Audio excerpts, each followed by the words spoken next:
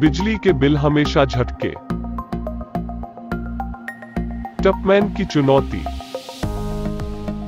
आप एक यूनिट बिजली के साथ 50 मीटर लंबाई बॉब चिपकने वाला टेप के एक गत्ते का डिब्बा निर्माण कर सकते हैं।